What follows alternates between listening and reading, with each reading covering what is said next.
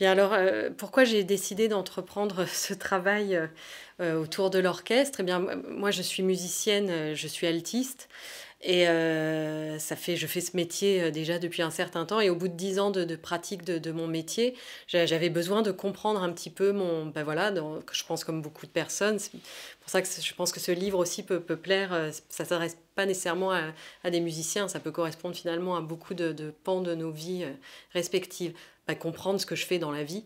Et donc, euh, je suis altiste, mais j'ai repris des études euh, de sociologie. Euh, voilà, j'ai mené une thèse et j'ai cette thèse étant après achevée, j'ai souhaité voilà la rendre publique avec voilà en, en la rendant. Mon, vraiment, mon souhait était que chacun puisse quand même parcourir mon ouvrage, que ça s'adresse à des musiciens professionnels, à des gens euh, du, du, métier, mais aussi à des mélomanes, mais aussi à des gens qui n'ont rien à voir avec la musique classique, puisque comme je le dis, je pense que ça peut parler dans le rapport au travail, dans ce que nous fait le travail. Euh, je pense que tout le monde peut s'y retrouver. Euh, et puis voilà, j'avais quand même ce, manque euh, aussi, cette frustration de voir souvent notre public. Je sens parfois quand même dans musique classique le, public un peu désarçonné. Qu'est-ce que c'est quand même que ce métier un peu étrange, ces gens habillés en noir dans leurs orchestres, sur leur scène, ça peut sembler un peu lointain. Le, le rituel du concert est quand même très, c'est tellement codifié. Il faut pas applaudir ou il faut applaudir là, voilà.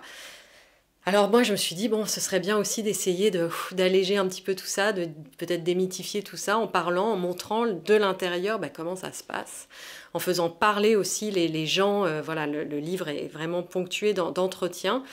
Avec euh, des, gens, que cela soit donc des musiciens, mais aussi ceux qui les entourent, puisque ça c'est l'autre aspect de mon, mon, de mon ouvrage. Je voulais vraiment euh, montrer que l'orchestre, ce n'est pas que des musiciens. Pour que cet orchestre puisse fonctionner, bah, il y a tous les gens qui, qui entourent les musiciens, l'administration, les techniciens, qui sont très importants, et comment tous ces gens issus pourtant euh, qui ont des éducations, des constructions sociales très différentes, euh, bah, doivent parvenir à communiquer pour, euh, pour créer un, groupe, un collectif qui, qui doit sonner en plus. La musique, bah, voilà, c'est pour ça que j'ai fait cette boutade avec l'accord parfait. puisque en plus il faut que ça sonne juste tout ça au final.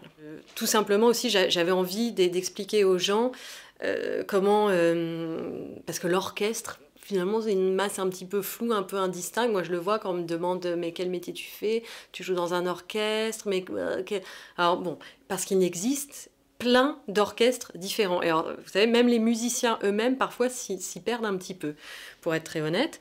Donc, il y a les orchestres comme ceux, euh, par exemple, à Bordeaux. Vous avez un très bel orchestre, l'Orchestre national Bordeaux-Aquitaine, qui est un orchestre symphonique, je dirais, dans l'image qu'on en a un petit peu traditionnelle. Voilà, l'orchestre symphonique.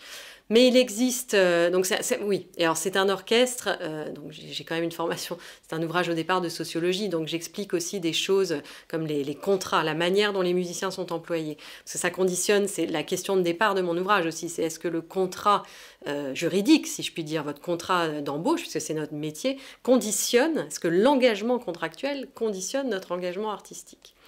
Et donc l'orchestre Bordeaux-Aquitaine, c'est ce qu'on appelle un orchestre permanent, un orchestre où les gens sont salariés, ils sont engagés après un concours à vie. Voilà, ils font ça toute leur vie. Euh, ils ont ce qu'on appelle la sécurité de l'emploi. Euh, moi, je travaille, je suis freelance. Je travaille avec des orchestres qu'on appelle par projet. Euh, donc là, je suis engagée en CDD pour des projets ponctuels. Je peux très bien, à la fin d'un projet, ne plus jamais être appelé. c'est un peu plus précaire.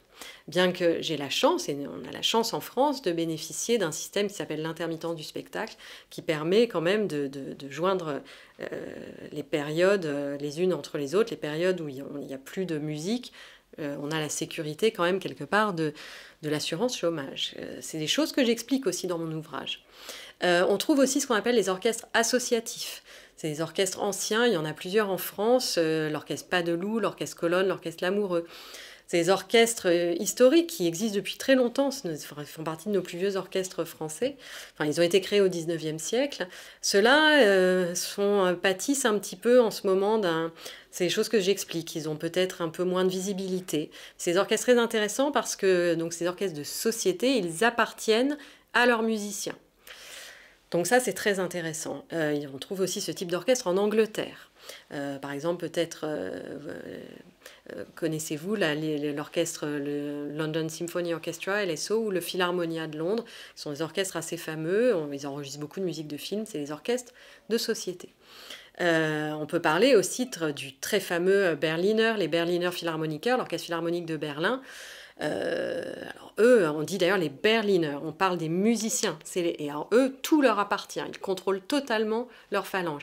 Et j'essaye donc de montrer en quoi ben, cela a un impact sur la façon dont on s'engage au sein de sa structure. Et donc finalement, peut-être y a-t-il en effet un impact dans la façon de, se sentir dans son métier, d'investir son métier, d'investir la musique. Des choses que j'ai vraiment euh, que j'avais besoin de questionner. Ce qui n'est pas évident en fait lorsqu'on est, lorsqu'on est musicien. Euh, c'est un métier. Euh, ce que j'ai aussi souhaité aborder, c'est que c'est un métier, ce qu'on appelle un métier de passion. C'est ça parfois qui est compliqué. C'est moi parfois les gens me disent ah vous avez de la chance, vous avez fait de votre passion votre métier. C'est à la fois une chance et c'est ça peut être un fardeau parce que bah, justement, qu'est-ce qu'on fait quand, quand, finalement on a atteint le grand amour et qu'on l'a tous les jours? Il y a la routine qui s'installe, la terrible routine, et il faut composer avec cela. Et donc, comment on fait? Et j'ai essayé de montrer comment les, les, gens construisent des stratégies pour lutter quand même contre cette routine, pour pas se laisser étouffer, pour pas que leur amour soit tué par ça. C'est une vraie souffrance pour beaucoup de musiciens qui comprennent pas trop ce qui leur arrive. On, rentre dans ces orchestres quand même, c'est un métier comme les sportifs. Je, parle souvent de la sociologie du sport. On commence ça très jeune. Euh, on commence la musique à 4 ans, 7 ans. On rentre dans un orchestre. Souvent, les gens qui rentrent dans les orchestres permanents, comme il existe à Bordeaux, peuvent rentrer à 22, 23 ans. Vous imaginez, maintenant, on y reste jusque ben, voilà, 64, 65 ans. On ne s'entend pas toujours bien avec le collègue qui est juste à côté. C'est un métier très physique. Euh, parfois, euh, on travaille ben voilà, toute la semaine. Vous savez, ça peut être très routinier. Donc, ce que je disais, on répète le lundi, le mardi, le mercredi, le jeudi, on fait un concert. Voilà, il n'y a pas toujours des tournées euh, palpitantes où on part à l'autre bout du monde. Ça peut être ça très sympa, c'est marrant. Ça aussi, je le montre comment ça agit aussi sur le groupe. Le fait tout à coup de prendre ce groupe et hop, de le déplacer pour aller jouer dans d'autres pays, d'autres salles face à d'autres publics, ça a une action. Et voilà, c'est toutes ces choses-là. Il n'y aura évidemment pas la même façon de construire le collectif entre un orchestre qui reste toujours, si je puis dire, à la maison, avec un rythme très très euh, euh, répétitif, et puis un orchestre qui change, euh, comme mes fameux orchestres par projet, où c'est pas toujours les mêmes personnes qui se retrouvent, avec des, des périodes très disparates dans l'année, des projets extrêmement variés, puis surtout qui tournent beaucoup ça n'induit évidemment pas du tout la même relation à son collègue si je vois mon collègue tous les jours de 7h à 22h ou si je le vois une fois tous les trois mois. Euh, S'il m'a embêté une fois, euh, je sais que je le reverrai pas demain, c'est pas grave. Ah, alors, les éventuelles formes d'orchestre qui pourraient advenir. Euh, c'est ma, grande, ma grande question. Qu'est-ce qu'on peut faire pour que tout le monde soit mieux, que ça se passe mieux, d'après tout ce que j'ai pu étudier et collecter? Écoutez, euh, je suis pas là malheureusement pour prédire ce genre de choses ou pour donner des conseils, c'est pas mon métier.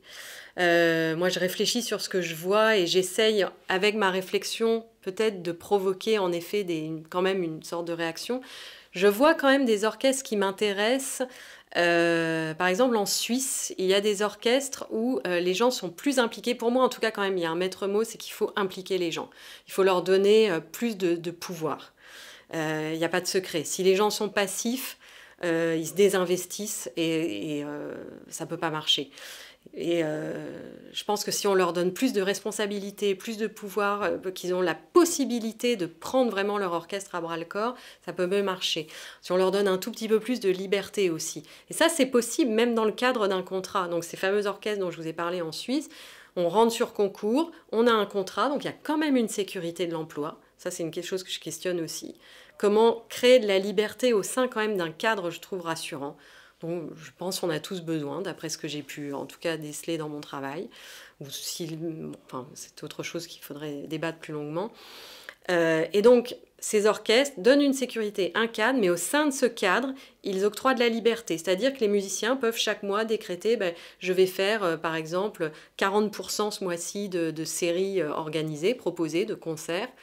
Mais le reste, ben non, je vais aller jouer ailleurs, je vais aller faire d'autres choses. Mais je sais que le mois prochain, je retrouverai ma place.